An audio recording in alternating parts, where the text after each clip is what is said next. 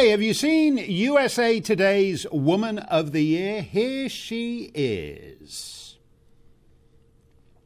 Yeah.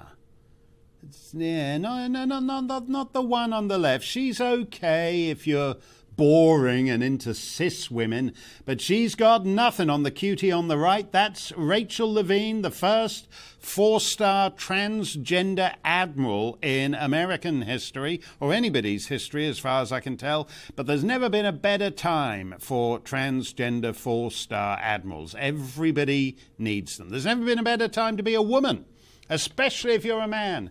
And let's face it, men make much better women than lousy old biological women do. Here's another woman of the year, Lia Thomas, the first transgender swimmer to win the NCAA Ladies Swimming Championship in America. People get into trouble for misgendering her, so if I were to refer to Lia as he or him, I'd be blowing up what passes for my career and you'd never hear from me again. But there's no chance of me doing that because she is so obviously all woman. Let's take a look at Lia. She is all woman. From her broad shoulders, complete lack of breasts, slim hips, and a full set of meat and two veg discreetly tucked inside her lady's bathing suit. I know that's everything I'm looking for in a woman and you are too. If you're wondering how I know about her wedding tackle, it's because her college teammates have complained about her flaunting it in the girls' locker room. But let's face it, if you're the best endowed gal on campus, who wouldn't want to show it off? When Lia Thomas won her championship, the number two and number three placed women were such sore losers that they invited the fourth placed lady to join them on stage and huddled at third place together. Hmm, where's their sense of fair play? Those three gals should be lucky they're allowed in the pool at all, considering they haven't got a testicle between the three of them. Deborah Soh is the hostess of the Dr. Deborah Soh podcast and the authoress of the book, The End of Gender, and we're always delighted to see her. Deborah, uh, the whole Lia Thomas thing is interesting to me because it seems to be testing the, our limits on this. This is someone, whatever one feels about trans issues, people usually go to a lot of things that most of us wouldn't want to undergo, whether it's hormone treatment and uh, the surgical removal of our most intimate parts. But uh, None of that applies here. This is someone who has the body, uh, hasn't done a thing to their body, but has simply announced that even though the body is unchanged, they're a woman and they're now uh, going on the women's swim team. So it seems like some kind of test of how far this can be pushed.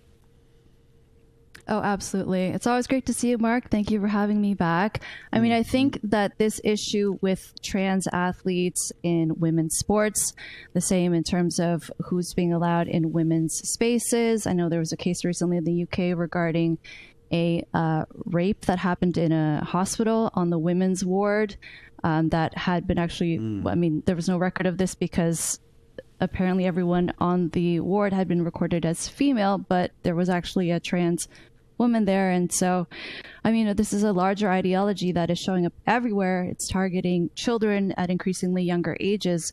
And so I, think what's happening in sport, even if we people do start to push back, it's going to keep popping up in other areas. And it's, it's really quite disturbing what, what's happening. I'm puzzled as to why women and champions of women do not speak out uh, about it. I mean, I feel sorry for these individual athletes. You train and train and train, and then somebody who's like six inches taller than you and with a totally different body mass just waltzes in and snaffles the, the, the thing that was your hopes and dreams. So I feel that just breaks any kind of uh, idea of, uh, of fair play in sport apart from anything else. Uh, but I'm surprised at, uh, but it's difficult to sort of champion that and turn it into a cause when so many of the women directly involved remain silent about it. Why do you think that is? Well, like you said, um, there are definitely differences between people who are born male and born female, and these differences are not overridden by hormonal suppression or taking estrogen. Uh, mm. I do think people are mm. afraid, they're scared of activists.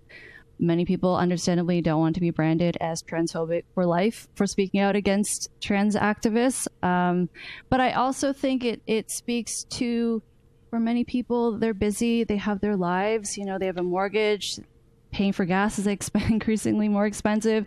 It day to day life is difficult enough. So, why would you want to speak out against this unless you are personally affected by it?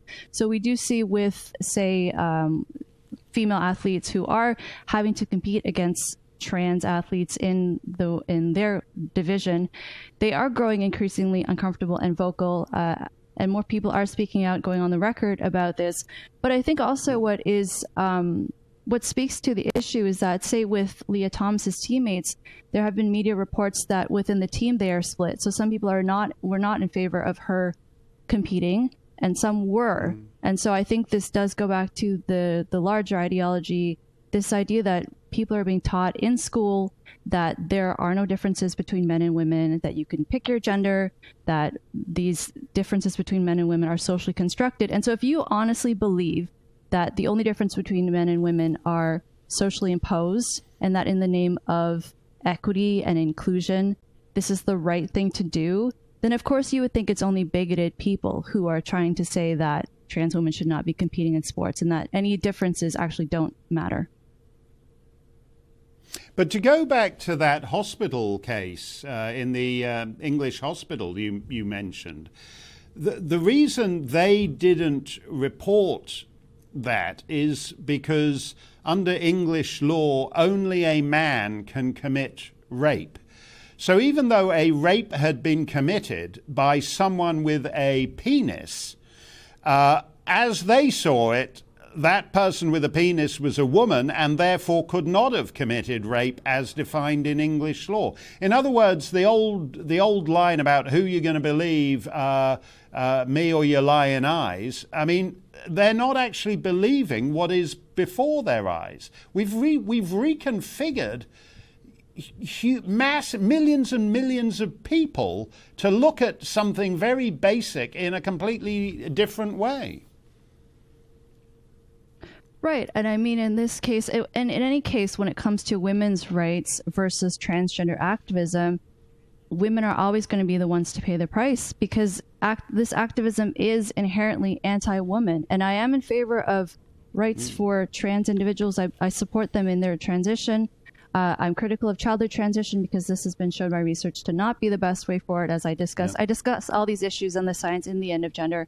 But you know, when it comes down mm. to it, I, it's it's beyond me the fact that people who claim to care about women will be so fast to turn it against women and kick them into the ditch when it comes it comes down to the bullying and intimidation of trans activists. No, that's that's uh, actually uh, very true, uh, Deborah. And it's sad to me. You you said that people just want to get on with their lives, and I can understand that if you're an accountant or you're a waitress or whatever. But it seems to me odd that so many professional uh, feminist activists have stayed silent on this, with the exception of J.K. Rowling and Margaret Atwood. And I think that's because, as imaginative novelists, they sort of see something down the road as actually uh, leading towards ultimately the abolition of women. Thank you very much. As you said, you you were ahead of all this in your book, and your book is a terrific read, Deborah. That's uh, Deborah Soh, the author of The End of Gender.